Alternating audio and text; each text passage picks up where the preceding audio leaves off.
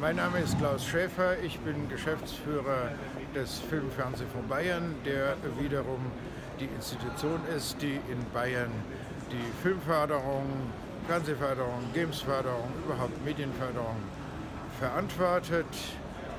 Ich freue mich auf die B3, ich freue mich auf Frankfurt, als alter Frankfurter sowieso. Ähm, für uns als Filmförderung in den letzten Jahren waren die herausragenden Filme diejenigen, die funktioniert haben, entweder im Kino oder im Fernsehen oder auf Plattformen oder auch auf Festivals, die Preise gewonnen haben.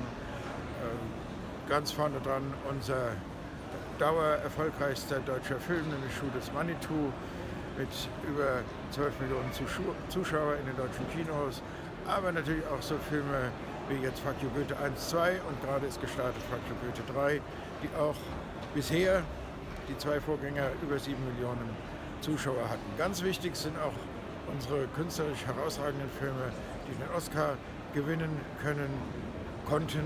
Nirgendwo in Afrika von Caroline Link oder auch Das Leben der anderen von Florian Henkel von Donnersmarck. Das sind Meilensteine in unserer Förderpolitik.